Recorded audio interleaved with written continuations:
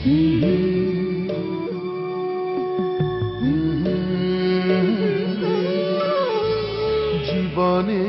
খেলা ঘরে কত স্মৃতি ঘিরে ধরে।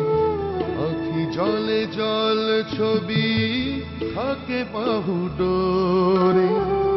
সব কিছু থাকে লেখা, কত কথা ছবি আঁকা। ছায়া ছবি হয়ে থাকে। রাত জাগা কখনো হিমেল রোদ, পূর্ণিমা ফিরে দেখা, ফিরে চাওয়া, খোঁজে দিন রাত।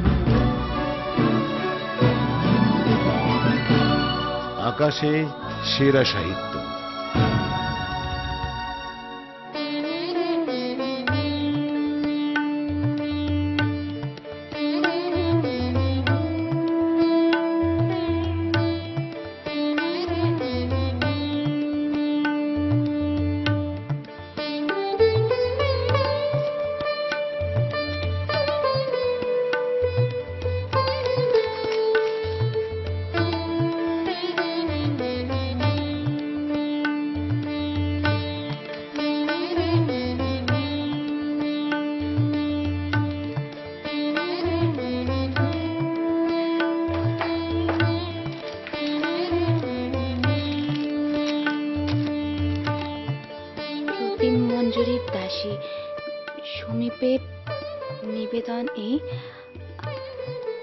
জনজাগরণ সংবাদপত্রে আপনার বিজ্ঞাপনটি দেখিয়া এই পত্রের অবতারণা। বয়স চল্লিশ। পুনর্বিবাহে ইচ্ছুক। সেই মর্মে একবার সাক্ষাৎ প্রার্থনা করি। ইতি श्री मोहनलाल पेशा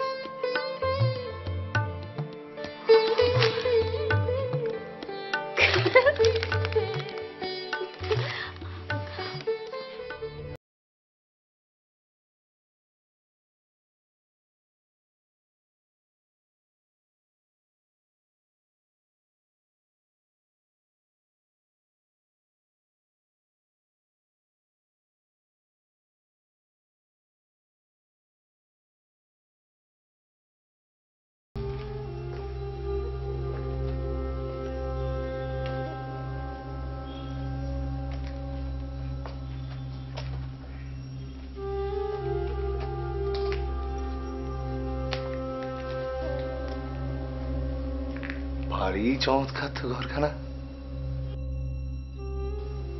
রান্নাটাও খাসা হয়েছে। এ যদি ওনার হাতের রান্না হয়, তাহলে তো শোনাই সোহাগা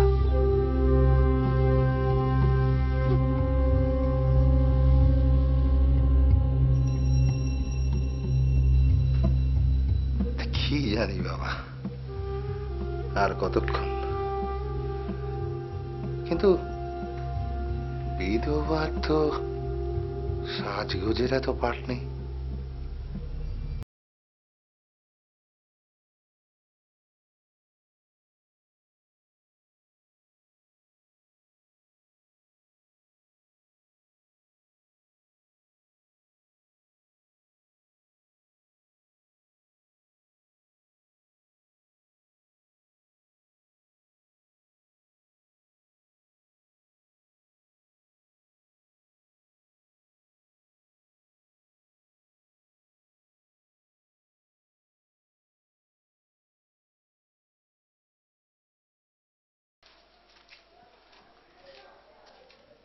বাবু বৌদিমণি খবর পাঠিয়েছেন। হ্যাঁ খ- খবর পাঠিয়েছেন? আরও খানিক অপেক্ষা করতে বললেন উনি আসছেন। আসছেন? আচ্ছা ঠিক আছে। ঠিক আছে ঠিক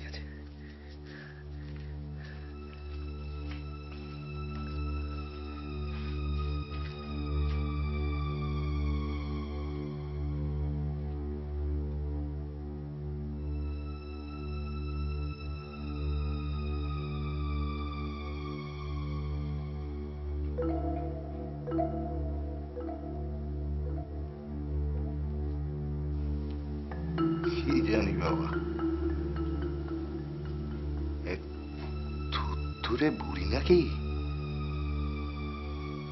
মানে ধরে ধরে আনতে হবে। লুচি খাইয়ে কি বুড়ি গছাবার ফন্দি হ্যাঁ? এ কি ধরনের রসিকতা?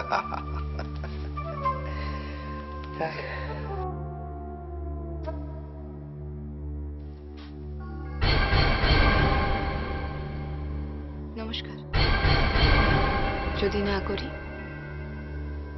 মারবেন? সে কি? কি কথা বলছেন আপনি? ভদ্রলোক কখনো স্ত্রীকে মারে?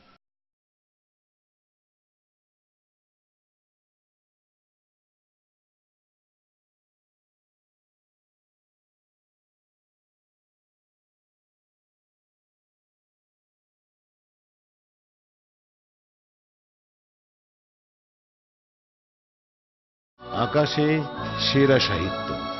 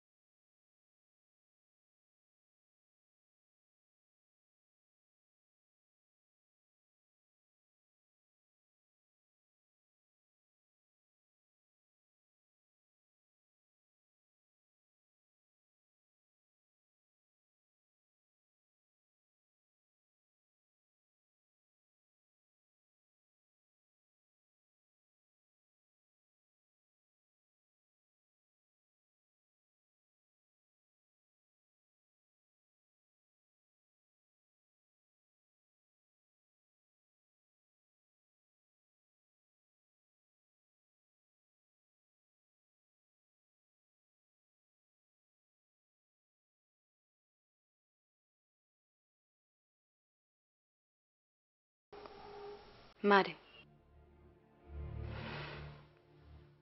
হয় আপনি জানেন না না হলে মিথ্যে কথা বলছেন।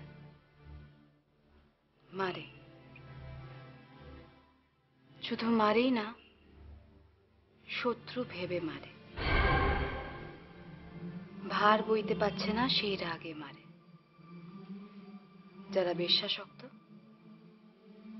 তারা সুখের পথে প্রতিবন্ধক ভেবে মারে। কথার বিষে মারে। না খাইয়ে মারে। মারে। আমি কখনো মারিনি। আপনি আপনার স্ত্রীকে খুব ভালোবাসতেন? বাঁচতাম।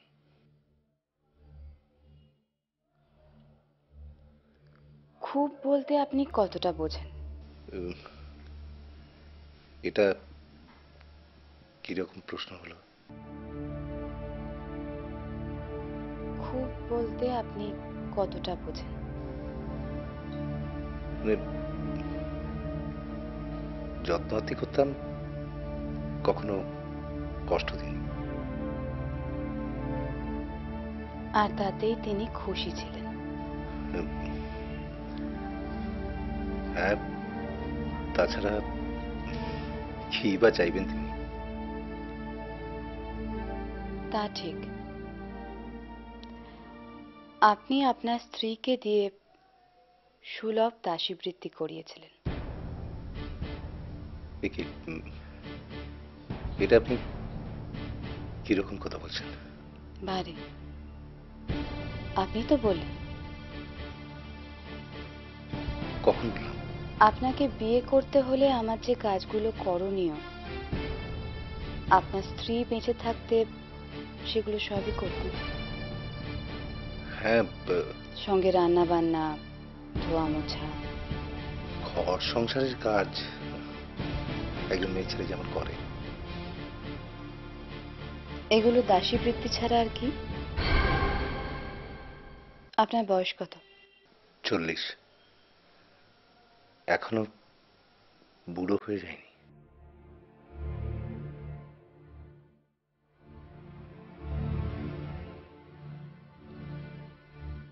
চোখ নামিয়ে আছেন কেন?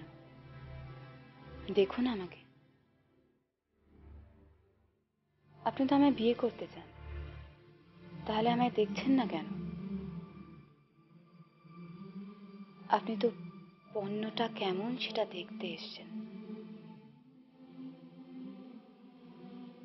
তাহলে চোখ নামিয়ে আছেন কেন? দেখুন। এই তো আমি উপস্থিত আপনার সামনে। দেখুন।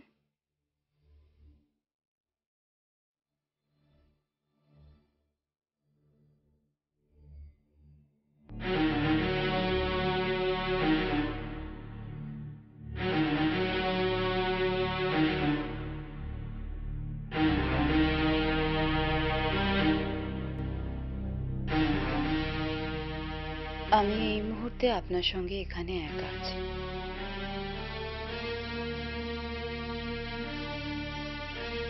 আমাকে পরশ্রী জানা সত্ত্বেও এই মুহূর্তে আপনার আমাকে পাওয়ার লোভ হচ্ছে। তাই তো?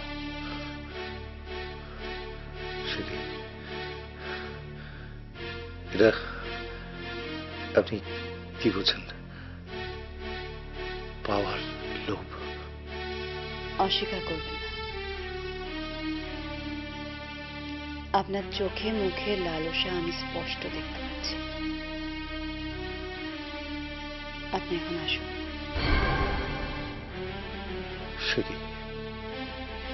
যদি চলেই যাব তাহলে আসলাম কেন?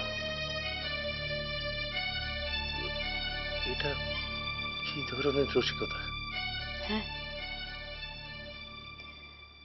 রসিকতা। ধনী বিধবারা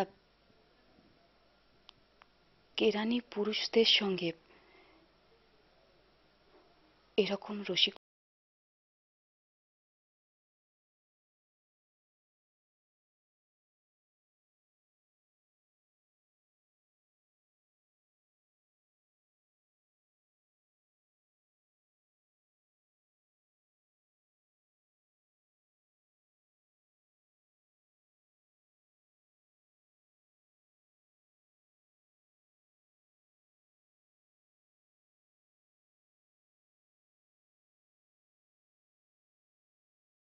এই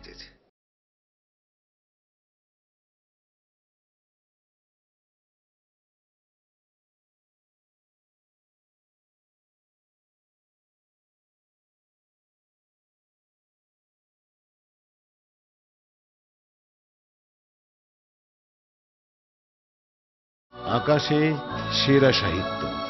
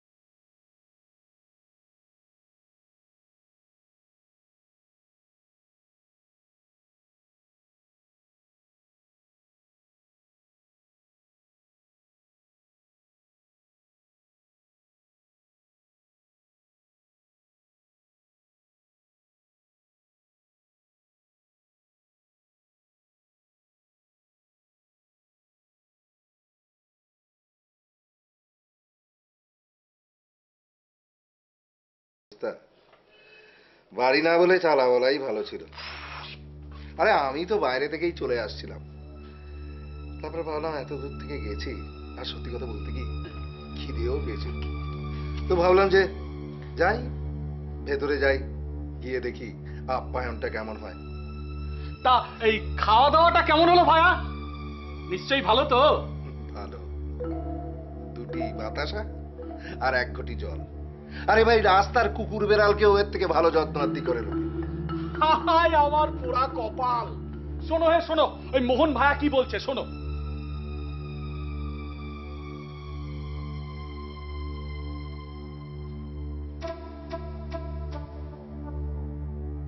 সে না হয় হলো। কিন্তু যার জন্য যাওয়া তাকে কেমন দেখলে? সে আর না বলাই ভালো। কঙ্কাল সার চেহারা। উষো কালির মতো গায়ের রং। দাঁত উঁচু। দেখে ভাবলাম স্বামী বাবা জীবন মরেই বেঁচেছে। আমি যাই আমার তারা আছে। ঠিক আছে এসো। মিথ্যে কথাটাও ভালো করে বলতে পারো না। মানে?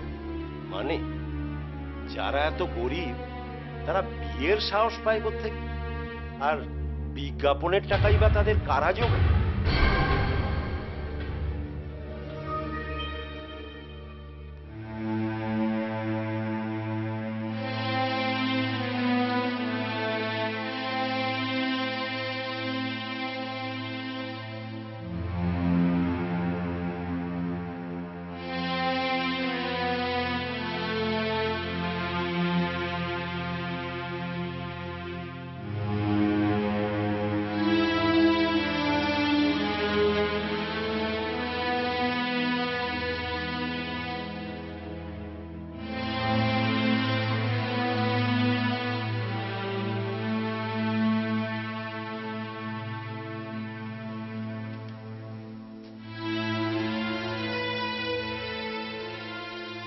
বৌদিমণি বলো নন্দদা কিছু বলবে? একটা কথা কদিন ধরেই বলব বলব ভাবছি। বলো। আমায় এবার ছুটি দাও বৌদিমণি। তোমার দশা আমি সইতে পারছি না। চেহারা হয়েছে তোমার। কেন? আমার চেহারা কি খুব খারাপ হয়ে গেছে নন্দদা কি বলছো তুমি? আয়নার সামনে একবার দাঁড়িয়ে দেখো। সোনার প্রতিমা কালি পড়ে গেছে। এভাবে এভাবে তুমি কদিন বাঁচবে বৌদিমণি?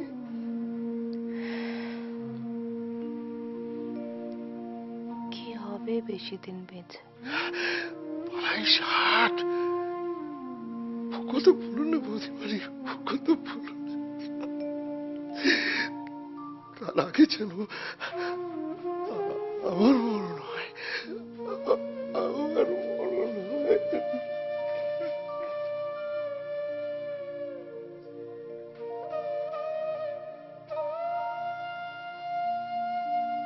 দেহ মন যাকে সঁপেছিলাম,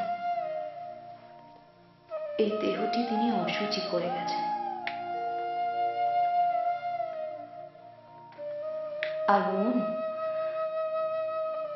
মনকে তিনি ছুঁয়েও দেখেননি। মেয়ে মানুষের কি মন থাকতে আছে নাকি? তবে আমার মনটা কেন রয়ে গেল? কেবল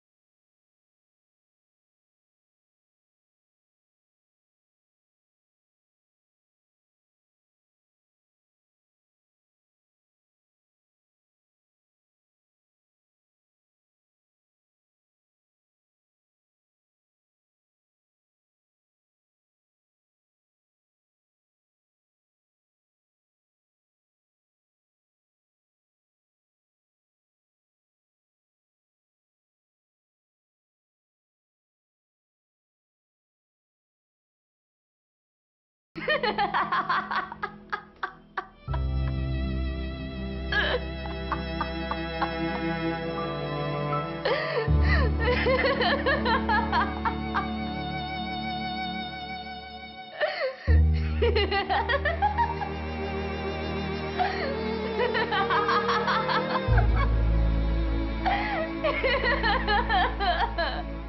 ha!